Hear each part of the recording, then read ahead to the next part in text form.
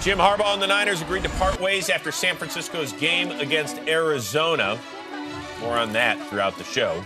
Ryan Lindley, 228 pass attempts without a touchdown. That is an NFL record. So at the 20, why don't we just run a flea flicker? From the 20? Never seen this before. That's Michael Floyd for the touchdown.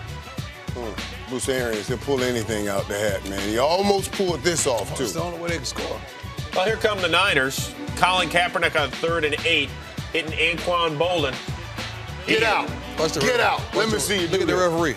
Yeah. Referee right with him. Only two catches on the day, but that one went for 76 and a Talk touch. Referee, referee right with I love that Quando, man. Quando's a dog, boy. Second quarter, Lindley. You a trip. He looked much better in this game. 23 of 39 for 316. Threw a couple of touchdowns. Here's the other one to Floyd. Nine. Oh. Nice effort to get into the end zone, and Arizona has a 17-13 lead at the break. Getting comfortable, guys. I This could be dangerous for the playoffs. I believe. How much pressure Third quarter. I don't know. Lindley. I ain't feel nothing. Looking for John Brown. Got a jacket, though. He was prone to the INT on Sunday. This one picked got up by Chris windbreaker. Culliver. It's okay. It's a completion, though.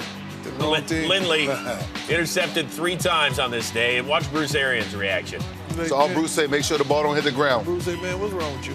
Yeah. Uh, you, where you you know throwing that's at? You know there's Iron Man in the white, right? Where, where are you throwing at?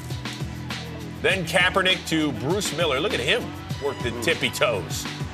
That ain't have nothing to do with Lindley right there. That play would be reviewed. But it stands. Both feet are into the end zone, and the Niners take a 20 to 17 lead. And then Lindley again, as Marshall likes to say, well, at least it didn't hit the ground. That's what I'm saying. That's a Craig completion. Dahl taking it That's a completion. and giving it to his coach, Jim Harbaugh. Next stop, Ann Arbor, or at least that's the way it sounded afterward.